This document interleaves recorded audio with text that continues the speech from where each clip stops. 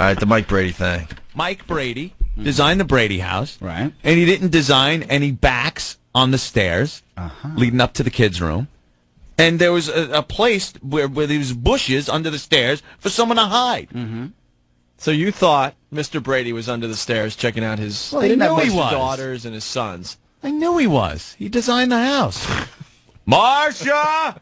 Marcia, Davy Jones is here for you. Marcia! Oh, yeah. Come on down those stairs. You hot bitch. Look at you. Yeah. Mike! What? Mike! What do you want? Can you call Cindy down? Cindy? I need Cindy. Tiger ate the mail again. Oh, Cindy! Cindy, come down, but could you wear the that little Shirley Temple outfit you wore with the dress? Don't be scared. I'll be uh, right under the stairs. I'm just under the stairs. Yeah. Yeah, lisp for me. You're the dirtiest Brady of them all. Thief filth, thief filth, bite a thief. You're a dirty girl, aren't you? Thief filth. thief- Mike! Mike! You fag What? Why are my panties stretched out, Mike? Uh, why are you asking me? Alice's fat ass is probably in them. That's probably it, Mike. Oh, well, I need Jan. Jan has to come down. My God, I have to reprimand her for not wearing her glasses. She could have killed herself.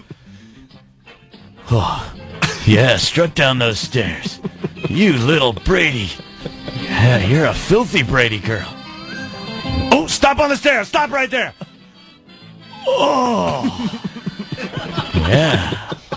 Yeah, baby. Yeah, Dad, can I turn your office into a room for me? Greg? Yeah, Dad. Now, Greg, we're going to have to talk about this because an office uh, is a lot of responsibility. I want you to come down here and we'll, I'll meet you in the office. Okay. Come on. Oh, look at that Johnny Bravo ass in those pants. Dad, can I call you Mike? Yeah, call me whatever you want. Okay. I'm going to take you to the to the Grand Canyon. really, Dad? Yeah. But I want to sing. Ah, sing into the microphone, son. All right. That's not a microphone. Oh, It's winking at me. Dad, you're Jewish. Bobby! Bobby! Yeah, Dad! Come, come on down here. We're going to play on the trampoline. I wish I was taller. Yeah. I'm gonna hang on the monkey bars to get taller. You jump up and down on that trampoline. I'm looking right up your, your shorts leg. yeah. Boy, that looks like a, a plucked chicken, doesn't it? Yeah, not a hair on there. Wow. You forgot Peter. No- Peter! Peter.